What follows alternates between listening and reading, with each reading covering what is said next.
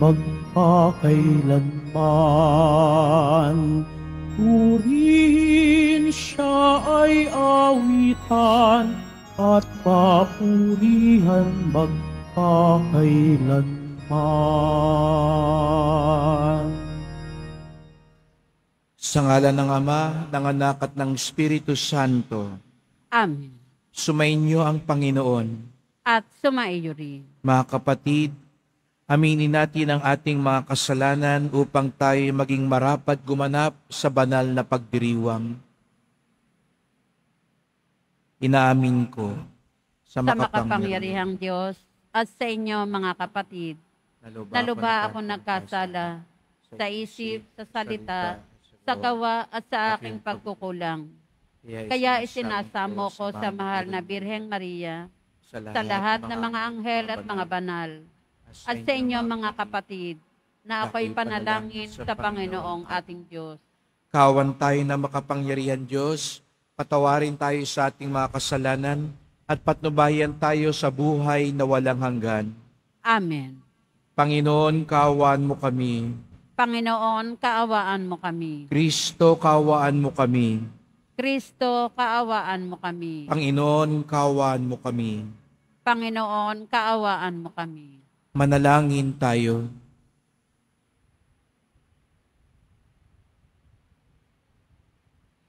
Ama naming makapangyarihan, tanang pinakamabuti iyong tinataglay, gawin mong sa aming kaloobay manuot ang pag-ibig sa iyong ngalang dakila at bantog, upang sa pagunlad ng aming pagsunod sa pananampalatayang iyong ipinagkaloob, mapagyaman mo ang kabutihang iyong inihandog, at ang iyong pinagyaman ay mapanatili mong lubos sa iyong pagsubaybay sa amin at pagkupkop.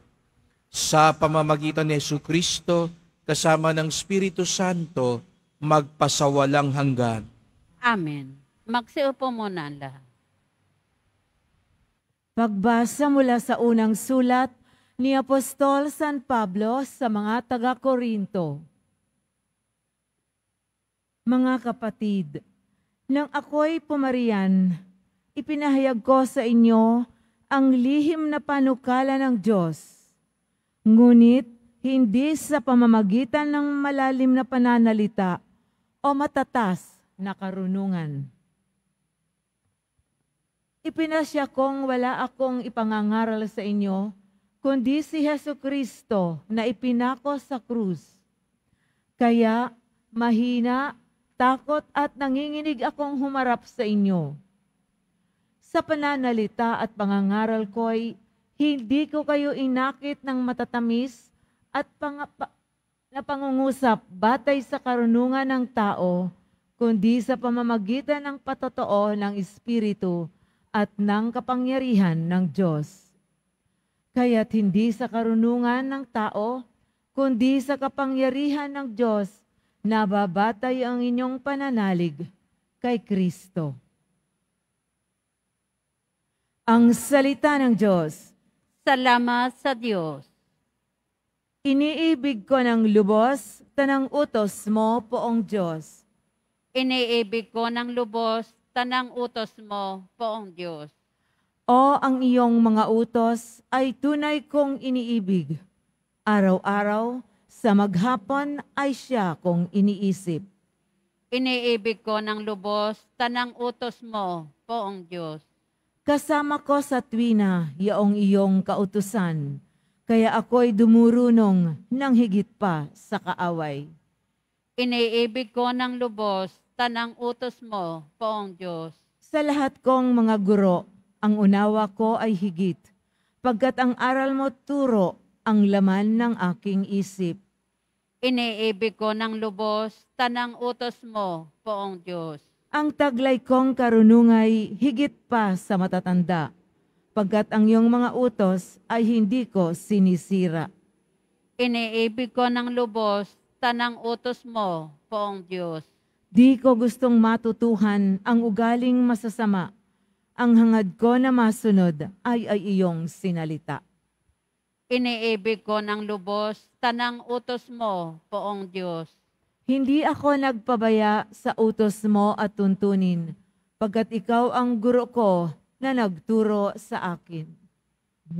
Iniibig ko ng lubos, tanang utos mo, poong Diyos. Magsitayo po ang lahat.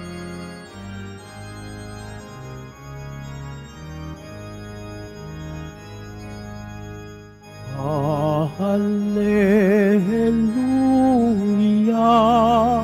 Hallelujah,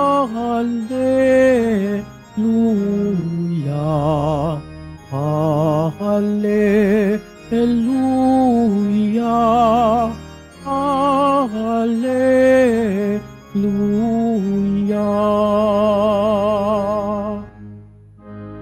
Ikaw, Kristo, ay sinugo upang sa dukay magturo magpalaya sa bilanggo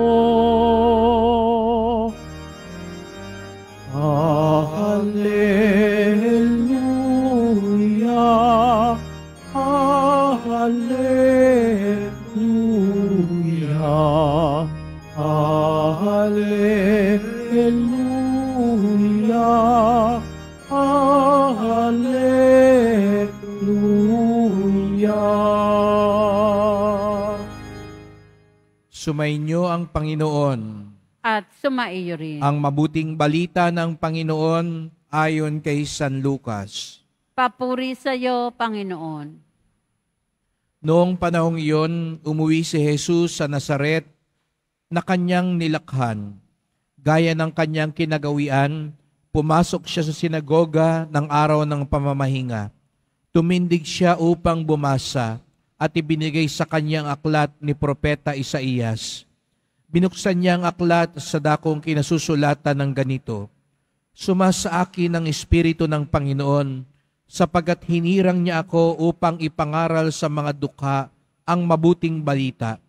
Sinugo niya ako upang ipahayag sa mga bihag na sila'y lalaya at sa mga bulag na sila'y makakakita upang bigyang kaluwagan ang mga sinisiil at ipahayag ang pagliligtas na gagawin ng Panginoon.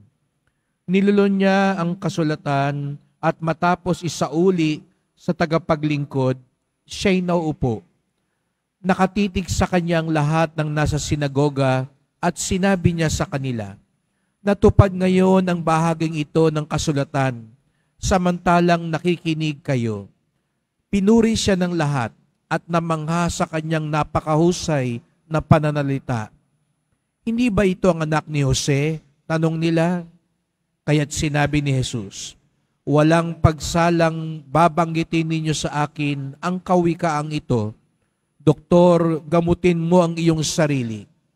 Sasabihin din ninyo sa akin, gawin mo naman sa iyong sariling bayan ang mga nabalitaan naming ginawa mo sa Kapernaum. At nagpatuloy ng pagsasalita si Jesus. Tandaan ninyo, walang propetang kinikilala sa kanyang sariling bayan. Ngunit sinasabi ko sa inyo, maraming babaeng balo sa Israel nung kapanahunan ni Elias nang hindi umulan sa loob ng tatlong araw at tatlong taot kalahati at magkaroon ng matinding taggutom sa buong lupain. Subalit, hindi sa kanino man sa kanila pinapunta si Elias, kundi sa isang babaeng balo sa Sarepta sa lupain ng Sidon. Sa dinami-dami ng mga ketongin sa Israel nung kapanahunan ni Eliseo, walang pinagaling isa man sa kanila, sinaaman na taga-Syria pa ang pinagaling. Galit na galit ang lahat ng nasa sinagoga nang marinig ito. Nagtindigan sila at pinagtabuyan siyang palabas sa taluktok ng burol na kinatatayuan ng bayan upang ibulid sa bangin. Ngunit dumaan siya sa kalagitnaan nila at umalis.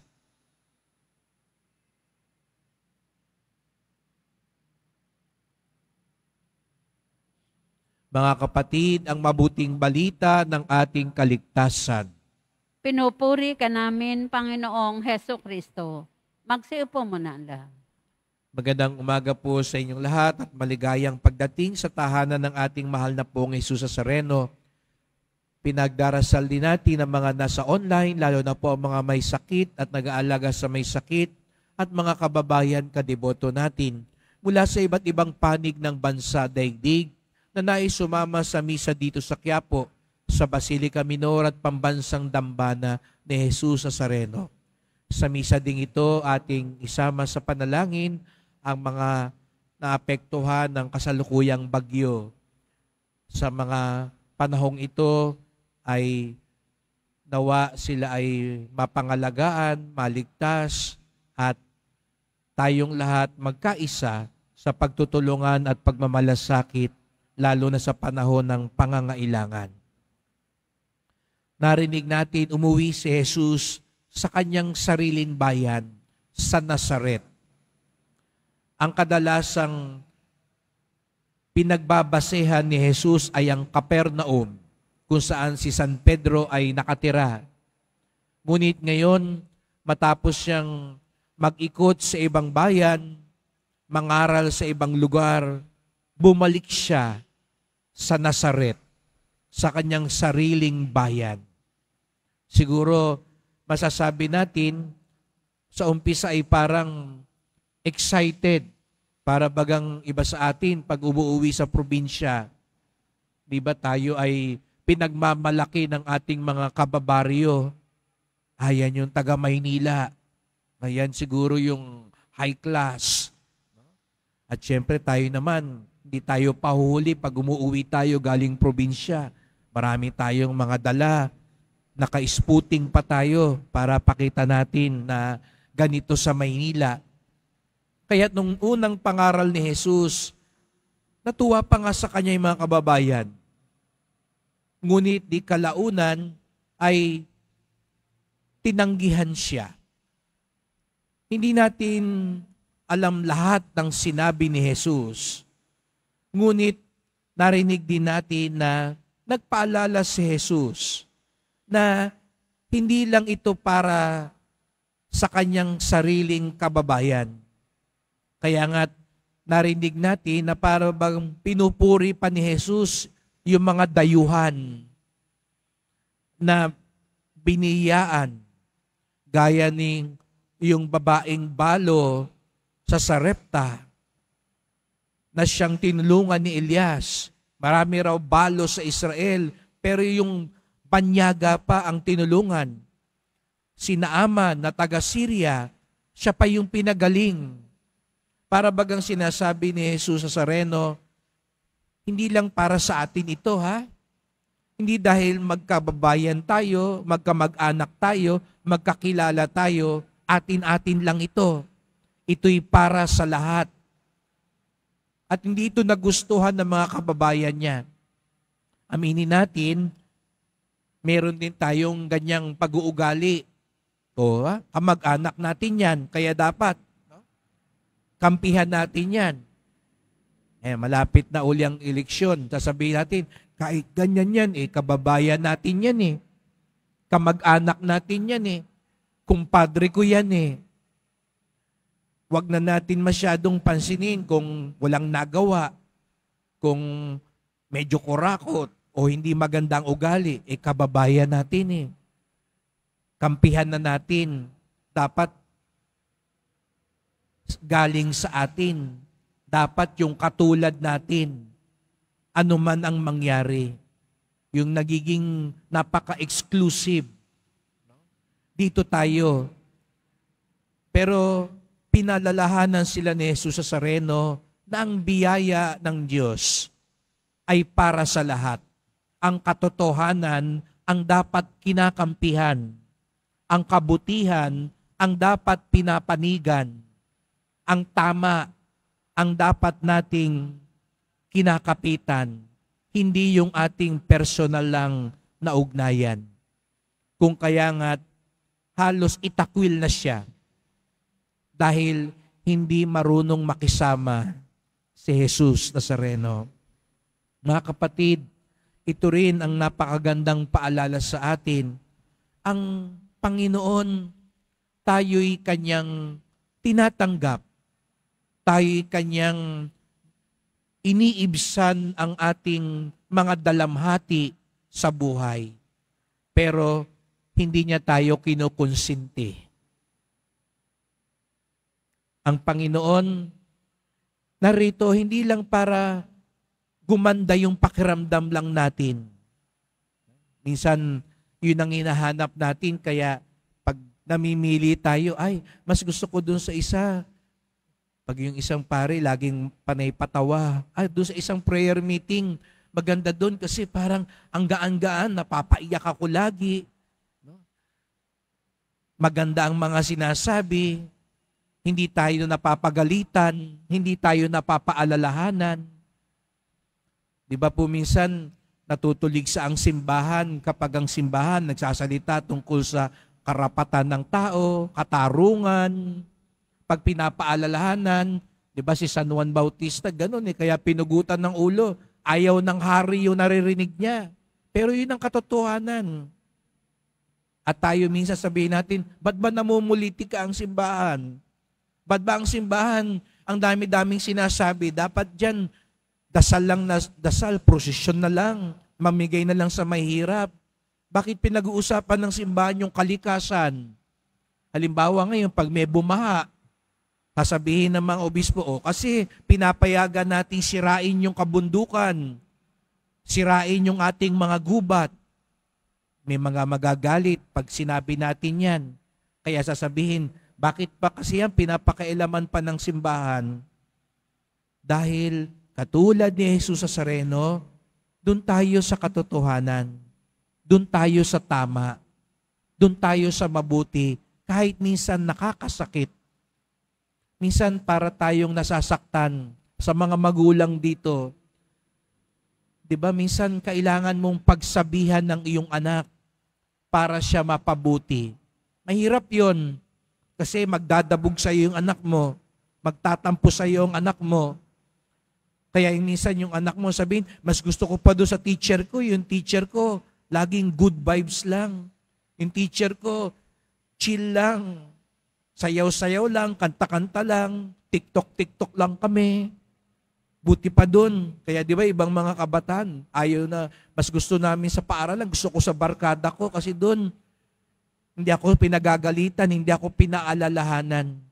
Pero oh, tandaan natin, para tayo mapabuti, kailangan tayo minsan parang masaktan, mapaalalahanan, matuwid, sapagkat yun din ay paraan ng pagmamalasakit. Kaya sa misang ito, dumulog tayo sa ating Panginoon at hilingin natin sa Kanya sa mga pagkakataong kailangan tayong paalalahanan, magparamdam siya. Sa mga panahon, kailangan natin maibsan ng ating kalungkutan, magparamdam siya sa mga panahon na kailangan nating mapaliwanagan, magparamdam siya sapagkat ang kanyang pagmamalasakit ay para sa lahat at para sa ating kabutihan. Magsitayo po ang lahat.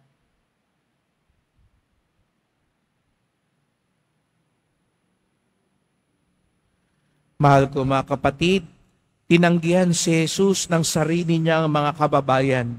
Tanggapin natin siya ng may pananampalataya at manalangin tayo sa kanyang pangalan. Ang ating tugon, Panginoon, pumarito ka, taglay ang aming kaligtasan. Panginoon, pumarito ka, taglay ang aming kaligtasan. Ang mga pinuno ng simbahan, naway pahayag ng may katapangan at isabuhay ng may paninindigan ang salita ng Diyos, manalangin tayo. Panginoon, pumarito ka, taglay ang aming kaligtasan. Sa pamamagitan ni Kristo sa atin, naway mapagtanto ng sandaigdigan, ang bukal ng tunay na karunu- karunungan, manalangin tayo. Panginoon, pumarito ka, taglay ang aming kaligtasan. Ang mga Kristiyanong magulang, naway maging matatag sa pagsunod kay Kristo na siyang daan, katotohanan at buhay, manalangin tayo. Panginoon, pumarito ka taglay ang aming kaligtasan. Ang mga may sakit na nabibigatan sa buhay, naway madama ang presensya ng Diyos sa pamamagitan ng pag-aaruga at malasakit ng kanilang mga pamilya, manalangin tayo. Panginoon, pumarito ka taglay ang aming kaligtasan. Ang mga tapat na yumao, naway tumanggap ng kaligayahang walang hanggang buhay, manalangin tayo. Panginoon, pumarito ka taglay ang aming kaligtasan. Makapangyarihang Ama, walang sino man sa amin ang makalalapit kay Kristo kung hindi mo ito ipinagkaloob. Gawin mo kaming iisa sa Kanya upang makapiling ka namin magpasawalang hanggan. Amen. Magsiupo muna ang lahat.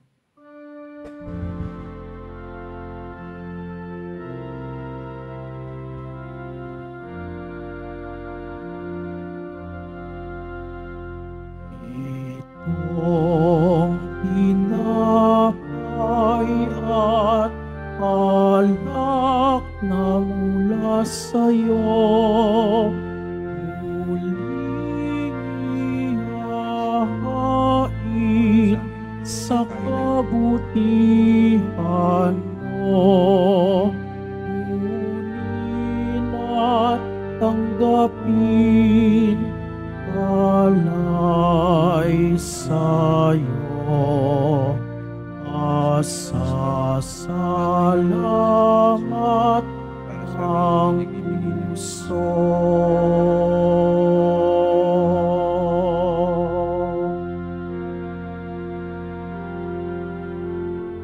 Magsitayo po ang lahat. Manalangin kayo mga kapatid upang ating paghahain ay kalugdan ng Diyos amang makapangyarihan. Tanggapin nawa ng Panginoon itong paghahain sa iyong mga kamay, sa kapurihan niya at karangalan, sa ating kapakinabangan at sa buong sambayanan niyang banal. Ama naming lumikha, ang banal na paghahain ay lagi nawang magdulot ng iyong pagbabasbas na sa amin tumutubos upang ang ginaganap mo sa aming pagdiriwang ay maging lubos na pagkakaloob ng iyong pagmamahal sa pamamagitan ni Yesu Kristo kasama ng Espiritu Santo magpasawalang hanggan. Amen. Sumainyo ang Panginoon. At sumaiyo rin. Itaas sa Diyos sa inyong puso at diwa. Itinaas na namin sa Panginoon. Pasalamatan natin ang Panginoong ating Diyos. Marapat na siya ay pasalamatan. Ama naming makapangyarihan, tunay ngang marapat na ikaw ay aming pasalamatan sa iyong paglingap at kagandahang loob. Ang tao'y nilikha mo't pinangasiwa sa sansinukob. Sa hangad mong siya'y iwastong lubos, siya'y pinagdusa mo sa kanyang pagtalikod. Sa iyong pagiliw, iyong pinahintulot na makabalik siya sa pamamagitan ni Kristo Jesus. Kaya kaisa ng mga anghel, nagsisiawit ng papuri sa iyo nang walang humpay sa kalangitan, kami nagbubunyi sa iyong kadakilaan. Santo, Santo, Santo, Panginoon Diyos na mga hukbo, napupuno ang langit at lupa ng kadakilaan mo, o sana sa kaitaasan. Pinagpala ang naparirito sa ngalan ng Panginoon, o sana sa kaitaasan. Magsiluhod po ang lahat. Ama naming banal ikaw ang bukal ng tanang kabanalan, kaya't sa pamamagitan ng iyong Espiritu gawin mong banal ang mga kaloob na ito, upang para sa amin maging katawan at dugo ng aming Panginoong Heso Kristo. Bago niya pinagtiis ang kusang loob na maging handog, kinuha niya ang tinapay, pinasalamatan kanya, pinaghati-hati niya ito, iniabot sa kanyang mga alagad at sinabi, Tanggapin ninyong lahat ito't kanin. Ito ang aking katawan na ihahandog para sa inyo.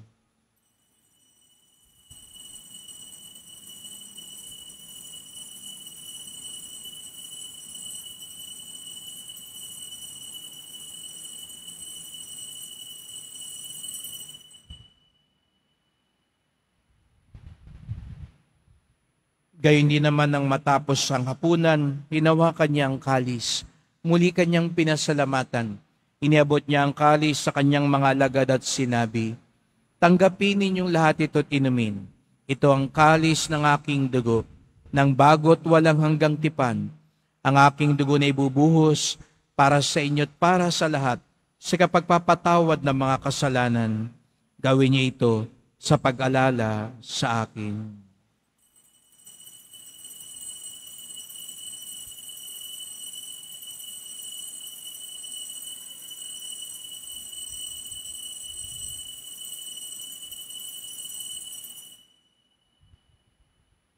Magsitayo po. Ipagbunyi natin ang misteryo ng pananampalataya. Si Kristo'y namatay, si Kristo'y nabuhay, si Kristo'y babalik sa wakas ng panahon. Ama, ginagawa namin ngayon ang pag-alala sa pagkamatay at muling pagkabuhay ng iyong anak. Kaya tinalay namin sa iyo ang tinapay nagbibigay buhay at ang kalis na nagkakaloob ng kaligtasan. Kami nagpapasalamat dahil kami yung minarapat na tumayo sa harap mo para maglingkod sa iyo. Isinasamo namin kaming magsalo-salo sa katawan at dugo ni Kristo ay mabuklod sa pagkakaisa sa pamamagitan ng Espiritu Santo. Amalingapin mong yung simbahang laganap sa buong daigdig. Puspusin mo kami sa pag-ibig kaysa ni Francisco naming Papa, ni Jose naming Obispo at ng Tanang Kaparian. Alalahanin mo rin ang mga kapatid naming nahimlay na may pag-asang sila'y muling mabubuhay. Gayon din ang lahat ng mga pumanaw Kawan mo sila't patuloyin sa iyong kaliwanagan. Kawan mo't pagindapating kaming lahat na makasalo sa iyong buhay na walang wakas, kaisa ng mahal na Birheng Maria, Ina ng Diyos, ng kabiyak niyang pusong si San Jose, ng mga apostol ni San Juan Bautista at lahat ng mga banal na namuhay dito sa daigdig ng kalugod-lugod sa iyo. May pagdiwang nawa namin ng pagpupuri sa ikararangal mo sa pamamagitan ng iyong anak na aming Panginoong Heso Kristo.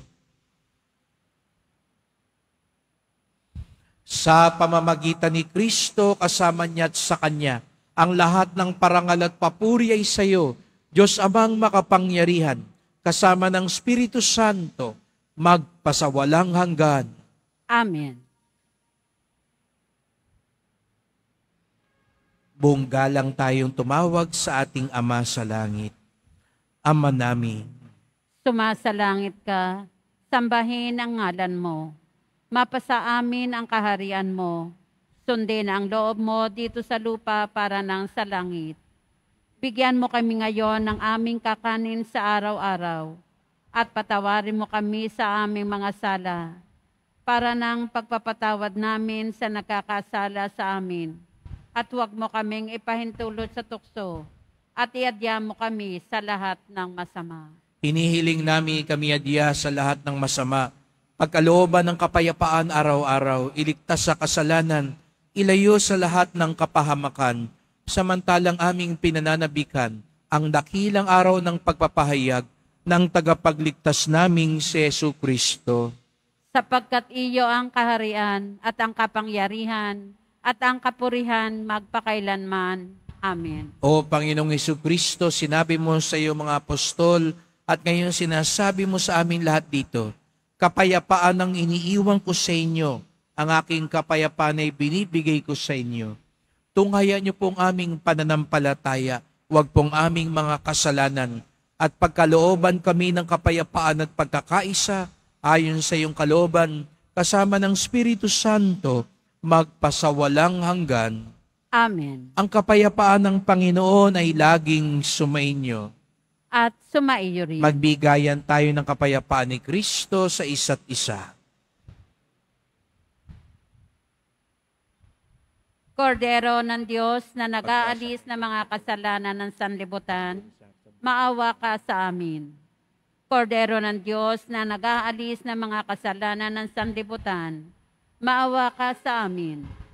Kordero ng Diyos na nag-aalis ng mga kasalanan ng sanlibutan, ipagkaloob mo sa amin ang kapayapaan. Magsiluhod po ang lahat. Narito ang ating Panginoong Heso Kristo, ang kordero ng Diyos na nag-aalis ng mga kasalanan ng sanlibutan, mapapalad ang inaanyayahan sa kanyang piging.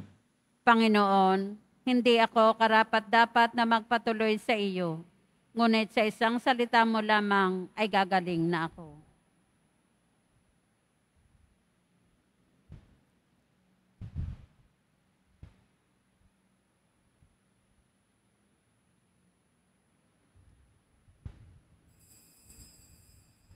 Para sa lahat ng tatanggap ng banal na komunyon, sasagot po tayo ng amen. Pagkasabi ng pari o ng lay minister ng katawan ni Kristo, at isubo agad sa bibig bago umalis sa harapan ng pari o lay minister. Sumunod po tayo.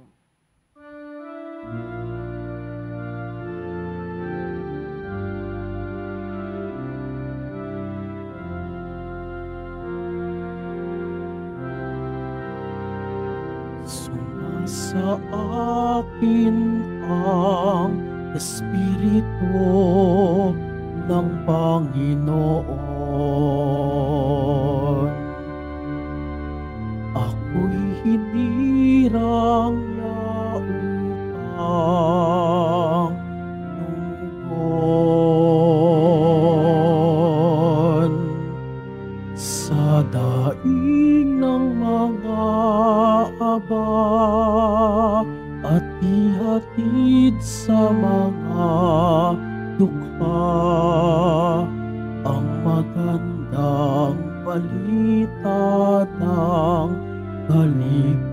kaligtasan.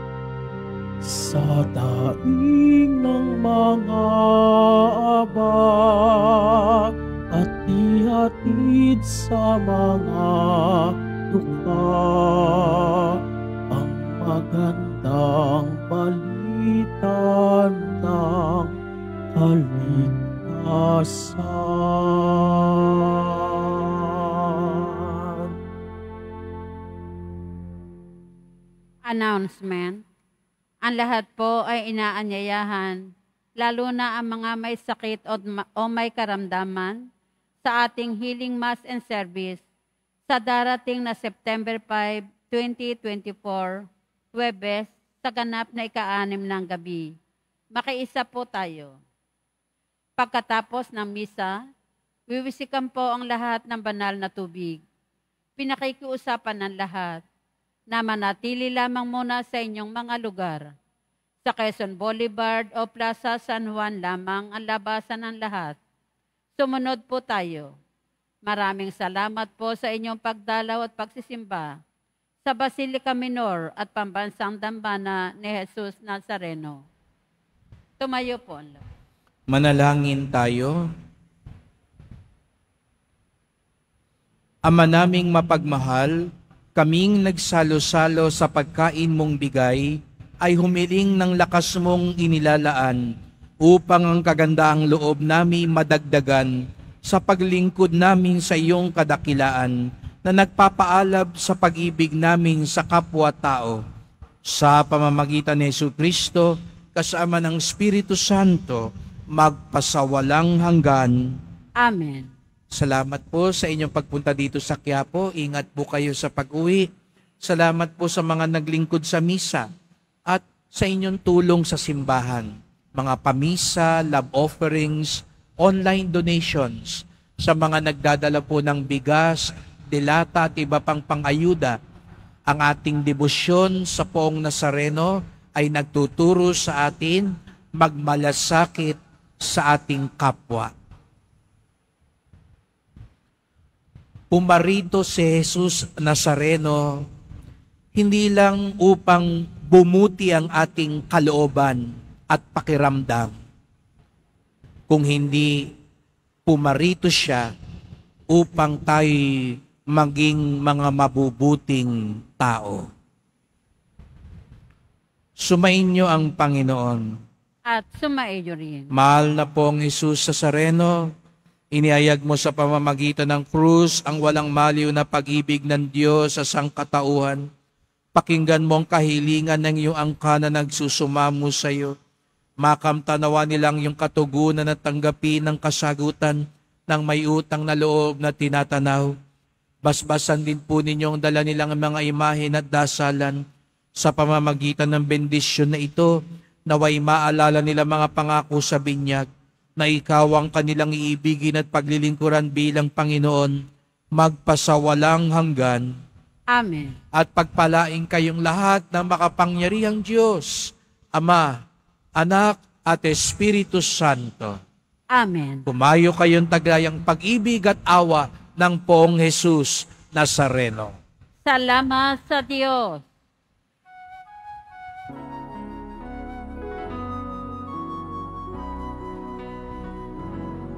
Nuestro Padre Jesus Nazareno, sinasamba ka namin.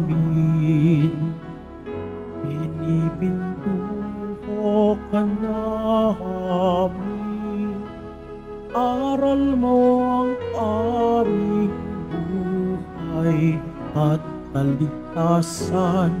Cristo Padre Jesus, Nazareno, iligtas mo kami sa kasalanan. Ang krus mong pinamatayan ay sa isag ng aming kaligtasan. Nuestro Padre Jesus, Nazareno, dinarangal ka namin. Nuestro Padre Jesus Nazareno, niluwalhati ka namin. Nuestro Padre Jesus Nazareno, dinarangal ka namin. Nuestro Padre Jesus Nazareno, nilulwalhati ka namin.